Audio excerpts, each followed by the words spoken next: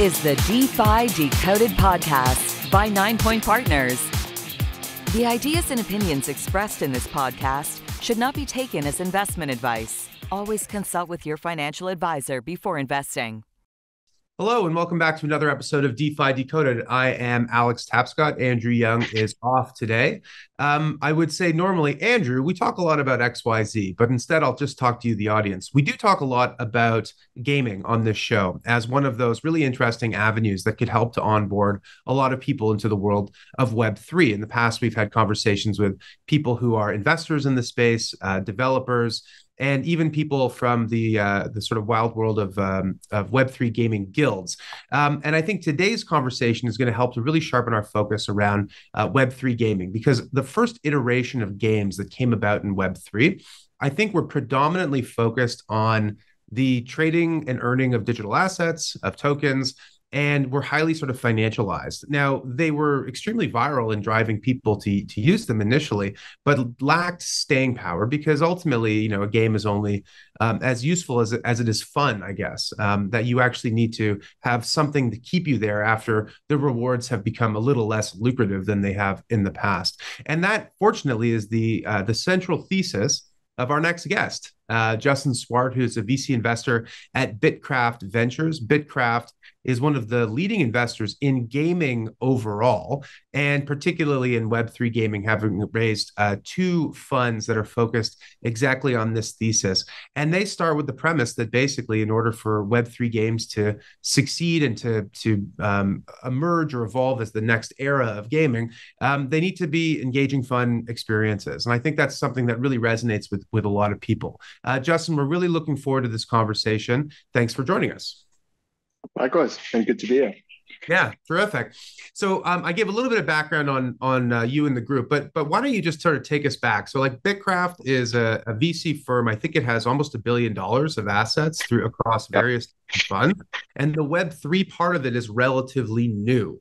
So yep. the question is, where what was the moment that um, the the organization sort of realized that uh, actually that the Web3 gaming space could be potentially the next frontier for the industry? And then similarly, how, how did you arrive at a similar conclusion?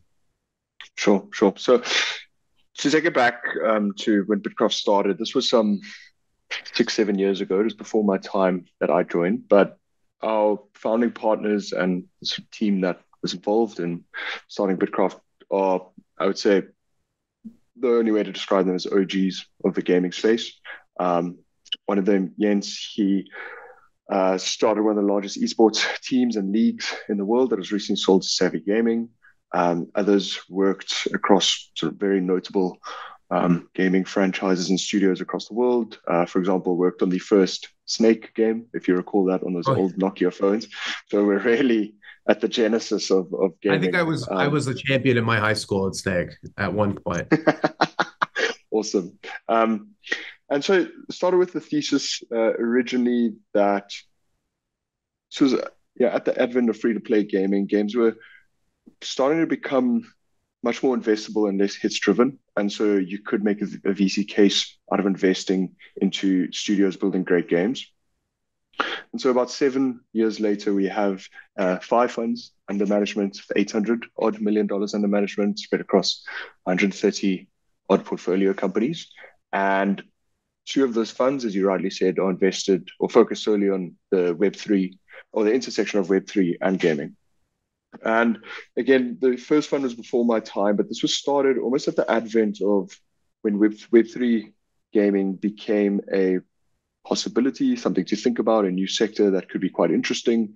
Um, and that fund was kind of rapidly raised uh, and invested in across, uh, across a number of names that you, you may know, and I think you may have had some guests on your show as well um, that we've invested in. And the reason why this is interesting and and you know, the thesis behind why we've invested in the space and proverbially you know put some chips on the table here, I would say is there's various perspectives that we could take about why Web3 gaming makes sense.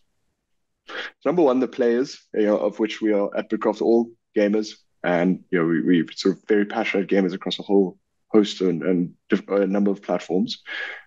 If you look at the player's perspective, the reason you may hear quite a lot um, lately, and I think you you may have touched on this in your in your book, Alex, is what does it mean to have true ownership of these digital assets? And I think this is something that resonates from an emotional perspective that I don't know if if that's spoken about as much, but if you're a sort of you know, quite religious, uh, I would say gamer, or you game quite a bit, there's something that there's a story we love to tell about one of our portfolio companies, um, Jeff Butler from Avalon, um, building a great MMO in the space.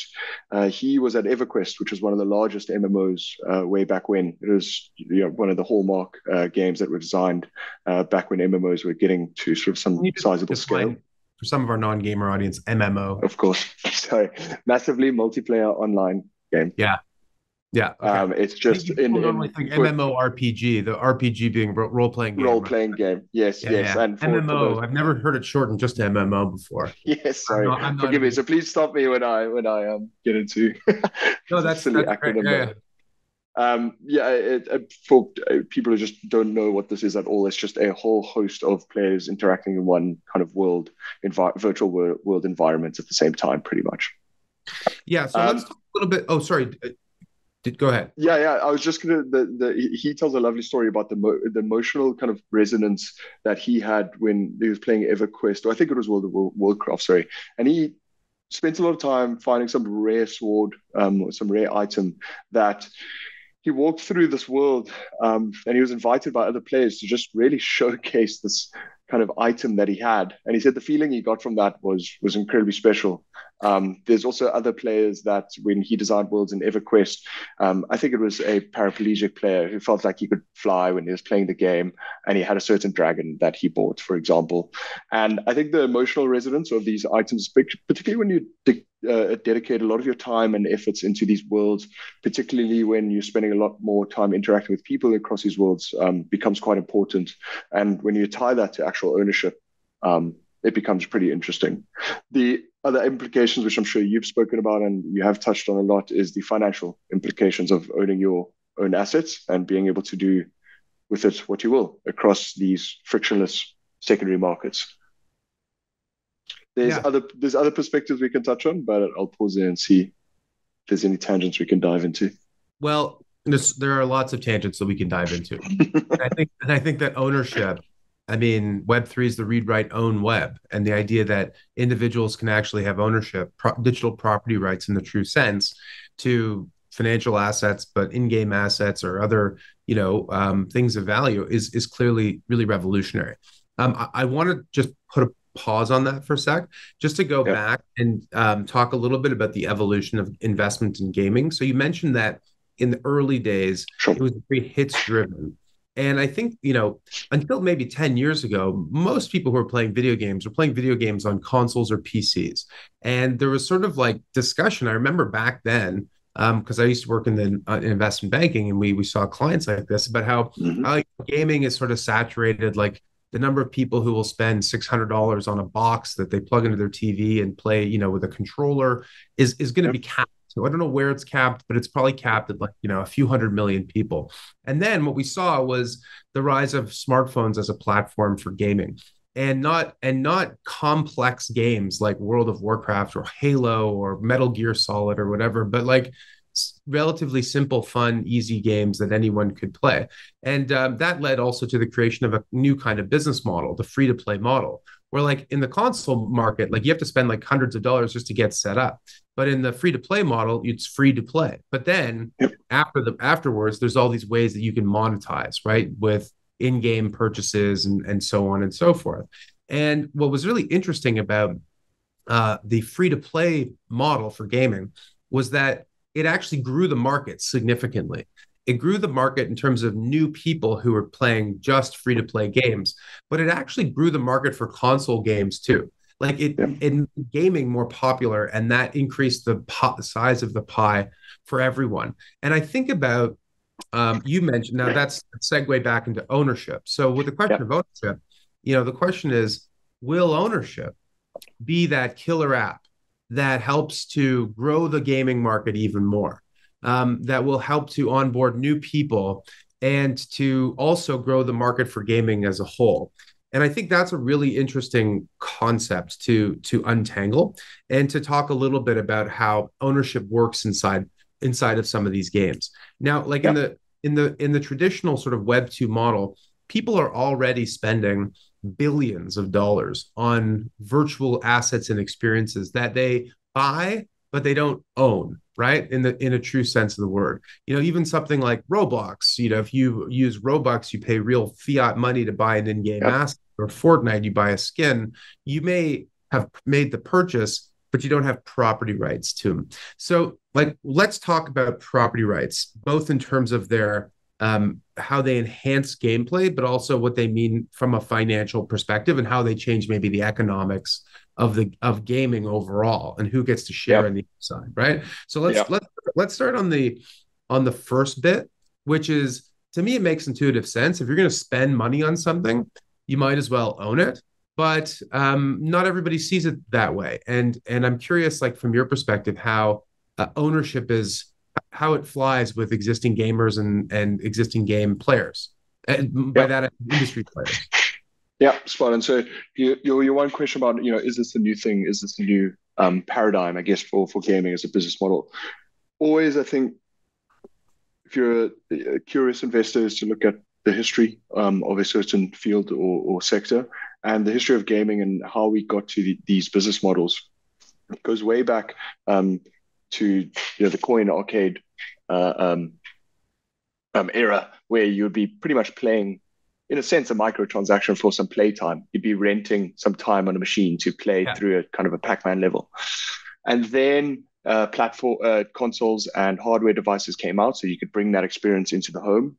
And the way to monetize that was typically who owned the distribution and publishing agreements. It was big well big box retailers were the ones that were i guess the the um, had the the sort of chokehold on the industry and dictated that the sixty dollar um, game price would make sense to get your however many hours, fifty hours of gameplay, um, so that you could sell all of that upfront uh, to users who had spent all this money on the console, as you say, um, and then sort of paying for a game for that X amount of playtime, sixty hours of playtime.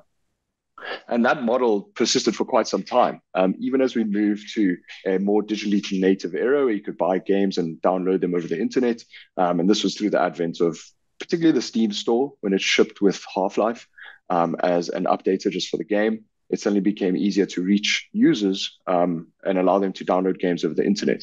Now, as internet speeds improved, as computer hardware improved, it took a while for the, that adjustment to take place you know, as as we tend to, as any new paradigm, paradigm tends to have, there's always some kind of skeuomorphism um, uh, that takes place. You know, you sort of map what happened in history and you try just smash it into this new kind of thing that you have. Yeah. And eventually, you know, so uh, the the industry cottoned on to um, a free to play model, which there's I don't I won't go into the kind of there's, there's quite a deep history around, around it. And with the podcast I recommend listening to is a podcast called Gamecraft. Um, highly recommended. Sort of goes through the history of um, video gaming, um, which I'm sure we could link in the notes or something.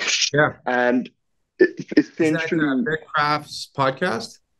These are this is a podcast from the Benchmark Capital uh, team, okay. and they spent their they I think both had careers in the video gaming space, and they sort of just talk through their experiences and how we got to where we are. It's a wonderful podcast. I highly recommend it.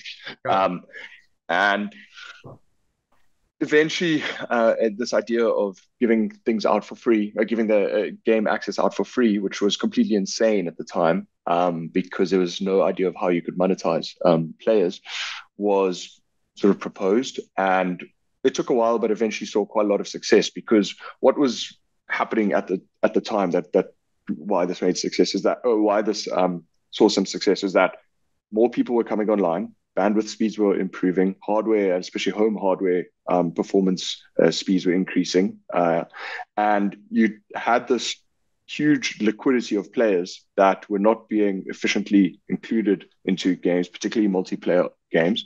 And so the mm-hmm. idea was to open it up to players essentially increasing liquidity within games, and liquidity just meaning you know the number of concurrent players within a game uh, instance or the number of monthly players within a game game instance. Instead of paying sixty dollars to to play a game, you can now enter this game instance for free.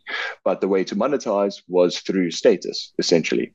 So the players if you just look at a just typical distribution of who's paying for what in any kind of game, it follows a Pareto um, uh, Pareto uh, curve, right? So 20% of all players pretty much generate 80% of the revenues. Uh, and so in gaming, they're typically referred to as whales. And whales are the ones that are generating most of the revenue in games. And so the idea was to more effectively practice uh, price discrimination. We go back to kind of economics 101 and charge people what they're willing to pay, but more effectively target whales who are the guys uh, uh, generating most of the revenues. Yeah. And so the idea and the way to uh, monetize whales was typically because they've spent so much time and money in a game um, and invested so much of their, I guess, life playing this game, is by offering them status objects like skins, um, uh, moves, dance, emotes that you're seeing in things like Fortnite.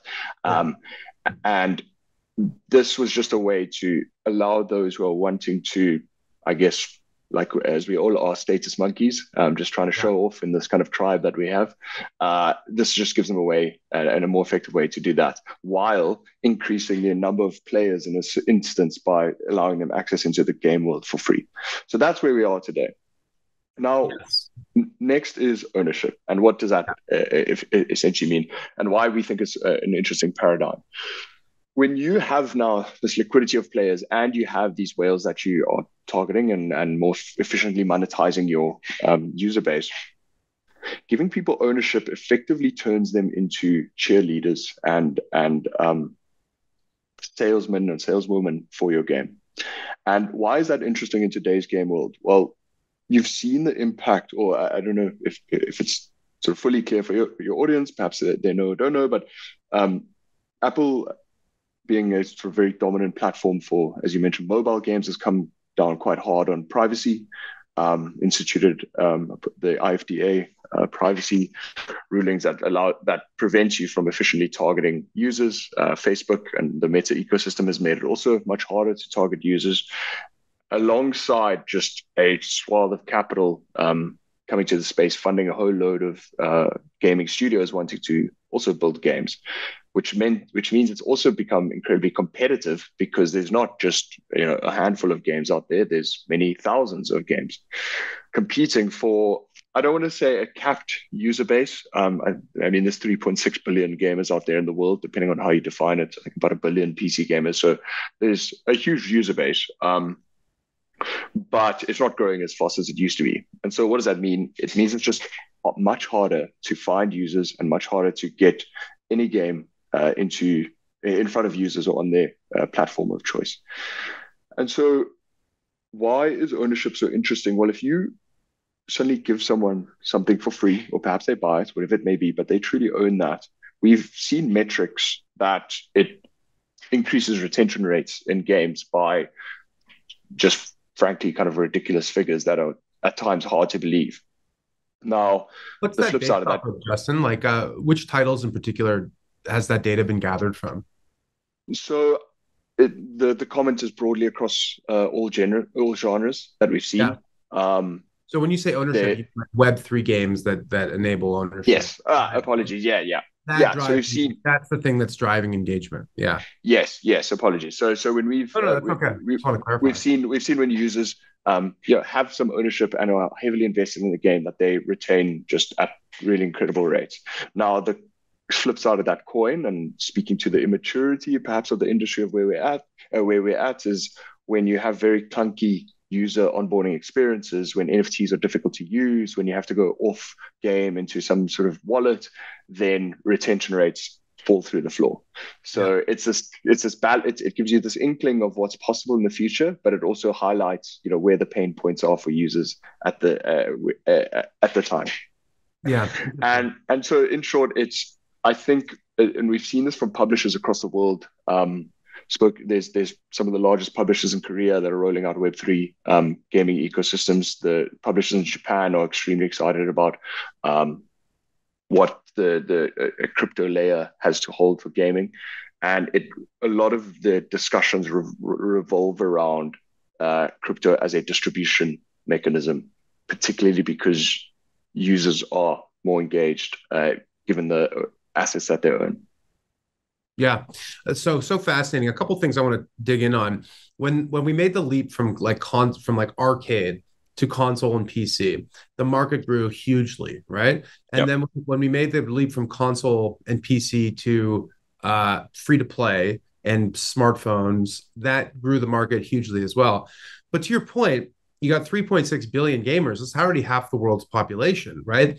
So I wonder how much of the opportunity here is to be the thing that drives yet another way, like to get the last half of the planet playing video yep. game, and yep. how much of it is maybe actually enhancing the experience or targeting the existing gamers. Do you know what I mean? Because there isn't yep. like 10x, 20x opportunity anymore.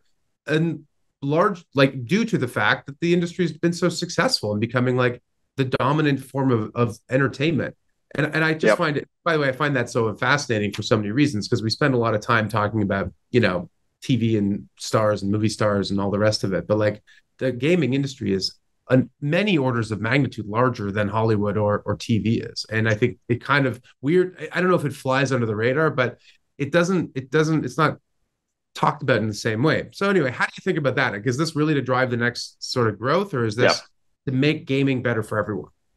Yeah, it's um uh, yeah, there's super interesting stats around this. I mean, the, the, gaming industry is depending on who you ask or how you measure it, is about 250 to 350 billion dollars a year. It's bigger than movies, streaming, music uh, combined. Yeah, and just like uh, in terms of media spend, it captures a large share. It's the only med- it's only media avenue or property that's expected to increase in spend um, in the next five years going forward. It monetizes at the highest rate per hour. Um, wow. It's just really it's an incredible um, industry. And if you if you look at where the youth are spending their time, it really is the the the, the digital third place um, for the Gen uh, Z and Gen Alpha, I think, or the ones before. It's yep. where they're spending most of their time. You know, the, the physical arcades don't really exist anymore, so the safer spaces are um, in these digital third places. But I could go, I go on that for for some time. I think you you raised quite an interesting question, like how does the pie grow, and is it more just sort of increased monetization growing the pie, or is it in, uh, bringing users um, into the fold? I think the interesting insights we saw was. You know what Axie Infinity did, and, and I know it's I guess taboo to in a way, in a sense, speak about that period uh, of Web3 gaming.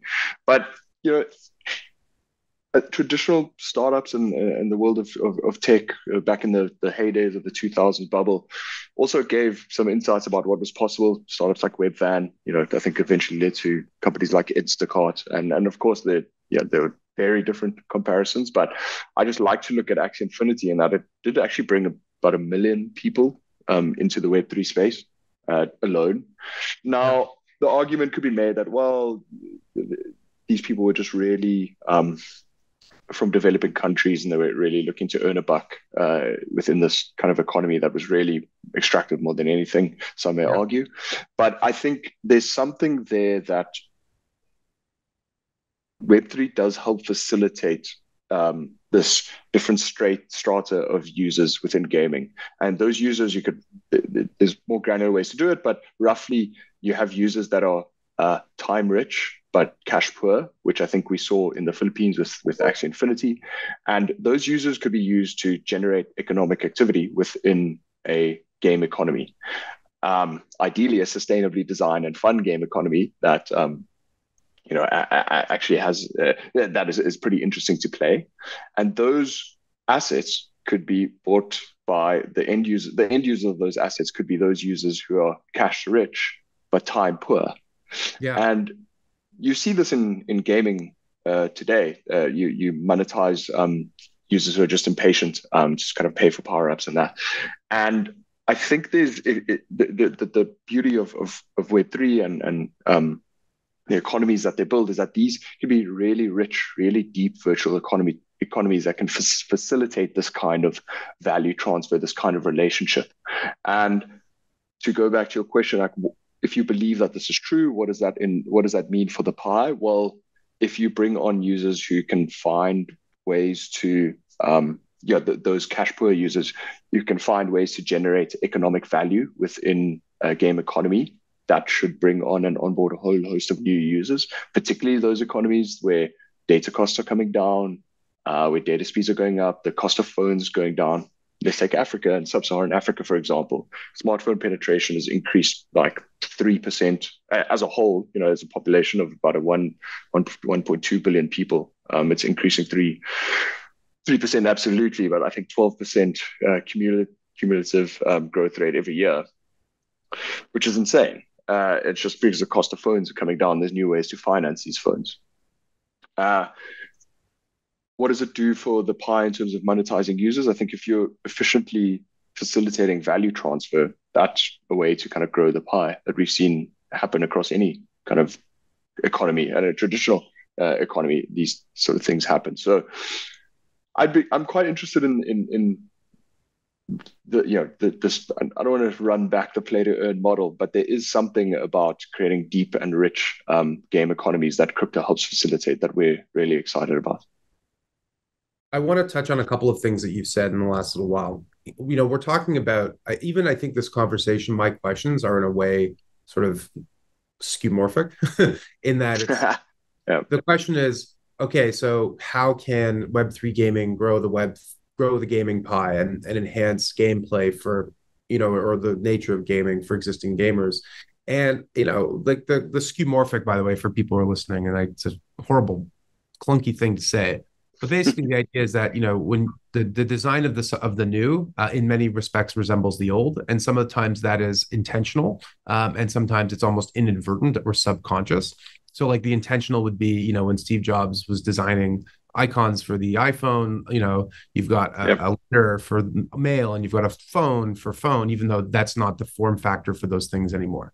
Um, the the unconscious skeuomorphic is more like the web comes along. What can we put on the web? We can put newspapers and magazines and classifieds, yep. Encyclopedias, because this is a broadcast medium for information, just like TV or radio or text or something. And so the some of the early applications of a new technology are very similar and almost in a way to the design parameters of the old technology. And so when it comes to gaming, like it's like how you know it's like you can really own your skin in Fortnite, or you can really you know you can go buy use your Robux to buy Starbucks or something, and like yep. those are all useful. Like, and I think that's where we're headed probably. But the future is is also going to be much weirder than than we can predict because that's the way that this stuff always goes. Now, earlier you said this concept of a third place. And I think this is a good time. Just to, the last topic I'd like to discuss is this whole idea of how gaming intersects with the metaverse. And you know, the third place. So you and I are like roughly the same age. Um, in the '90s, the third place was like a park, movie theater, you know, yep. uh, arcades were, I think, a little earlier because by the time I was a kid, I had a PlayStation. Yep.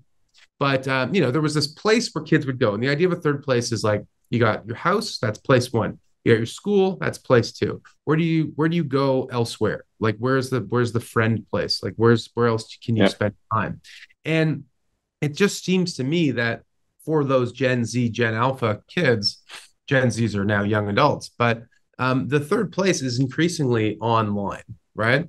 and look, I spend like five hours a day on Twitter, so I guess my third place is online too. But I, I think it's different still with kids, uh, with younger people. Yep. And so the question is, like, what is the intersection of gaming and ownership and you know all this stuff with the whole idea that the internet itself is becoming a third place, and with the rise of extended reality, you know, virtual and augmented reality, it's becoming that much more immersive. And you know in many respects it's going to it's evolving into sort of a new plane or new shared reality new shared reality for humanity. So i don't want to get too like highfalutin but you know this is an inevitable kind of topic and i'd love to just get your take on it. Yeah um i mean I, we have I don't know the data off the, off the back of my hand, but I, I, did touch on it earlier that there's just so much more time is being spent um, in these digital third places, as it were, places like Fortnite and Roblox uh, and Minecraft, where particularly younger generations are engaging with their, their peers, actually meeting more friends online uh, than they would in their physical spaces. And there's interesting things that are happening where these worlds that have been created, and particularly the three I mentioned, also have allowed for um, the really strong UGC uh, tooling. And so to define that, user generated content tooling. And so what does that mean? It means just, you know, if you're in this game world, picture this sort of physical uh, rend, uh, sorry, this digital, digitally rendered place. These tools allow you to create structures, buildings, um, different game modes, puzzles, say a, a, maze that someone can walk through, um, or a, a, sort of um, a racetrack that someone can uh, you, you know, that you can build that your friends can race on. And they've allowed for this tooling uh, to to um, they've they've uh, given this tooling to the users who are already playing their games to now make those users particularly uh, uh, pretty much prosumers. Um, so they're producers and they're consumers of that that um, good that they or this world that they are residing in. And what has that done is it's turned some um, younger users into, I guess, entrepreneurs in a sense, where they're making a few thousands, sometimes hundreds of thousands of dollars uh, in building these games because they're just selling access to these game worlds or these environments that they have built. And again, what does that do? It, it, it shows you a vision of the future where the way that you monetize your life, you know, perhaps happens exceedingly more online than it does in a physical world. Now, physical world is, is just something innocuous. You know, it's a typical way you'd go to a manufacturing job and you would you know, build up your skills to manufacture a widget. That's happening sort of more and more online. Now, we could have a debate about whether you, you want your society to do this and whether that's sort of desirable for uh, a society. Uh, but I think that that's a sort of longer, separate discussion. Uh, but we're just seeing this sort of data in particularly in Gen Z and Gen Alpha audiences um, where they where they're actively spending their time more and more, uh, and that's online, particularly for going venues like uh, Netflix and other various streaming um, services. And part of the reason is they're interacting with their, their friends and there's a social element. Another part is just gaming uh, activate. I think there's studies. I forget the author. I think it's. Uh, it sounds like Jane Goodall, but not the chimp. It could be the chimp uh, chimpanzee lady. Uh, but it's it's it's a professor who looked at um, flow state or how gamers enter their flow state versus I think other occupations and gaming just engages flow state sort of much much more effectively for much longer periods. I mean, and and if you've played any kind of game, you know this. Even chess, for example, uh, as a game, engages you more than a typical movie would uh, on Netflix. So it's a very kind of powerful medium um, that can be used, of course, for great things like education and and making friends and, and friendships and entrepreneurship. But of course, can be sometimes overly monetized, which you do also see. Well, I think therein lies the the rub for Web three gaming which is how do you add an ownership as a feature of gameplay to expand what gaming sure. is and to improve how gaming works without compromising on all of the other parts of what makes a game great. Um, because we've seen the the challenge of Web three gaming scaling quickly because there's a financial reward, but not sustaining itself because there's no follow on from that. And so I think that just because the first instantiation of something didn't work quite as well as you'd yep. hope doesn't mean that it's not going to work. And, and my yep. view is that this is 100% where we're going. Yep. And I also think too that the biggest reason in a way is this concept of the third place that if you're going to be spending time online and and um, the internet is going to become more immersive and is going to be a bigger share of our wallet and our culture and our interactions then we need to be able to preserve and enforce a lot of the rights that we already have for in the real world, like the right to privacy or the right to have property rights or the freedom to transact, right? And I think those things don't currently exist in these closed environments. In other words, I think that it's essential, really, not just to the future of gaming, but almost the future of of uh, the web and, and, of humanity. Not to sound too grandiose. Um, so I think that being in the gaming side of it is such a fascinating place because uh, it is the on ramp to everything. And I think it's um, just so exciting. Justin, this has been a really great conversation. We really appreciate your uh, sharing your insights with us. Where can people follow you and the work that you're doing at BITKRAFT? Yeah, just at bitkraft.vc. Um, you can find us on our website there, and then of course our Twitter account also at bitkraft.vc. That's it for this week's episode of DeFi Decoded. We'd like to thank our guest Justin Swart from BITKRAFT Ventures again for joining us. We will see everybody next week. No rest for the wicked here at DeFi Decoded. We'll be recording over the holidays to make sure you have content on those long drives to and from family dinners and so forth. Uh, stay tuned for that. We've got an awesome guest. You'll definitely want to tune in next time. Take care. The information contained herein does not constitute an offer or solicitation by anyone in the United States or in any other jurisdiction in which such an offer or solicitation is not authorized, or to any person to whom it is unlawful to make such an offer or solicitation. Prospective investors who are not residents in Canada should contact their financial advisor to determine whether securities of the funds may be lawfully sold in their jurisdiction.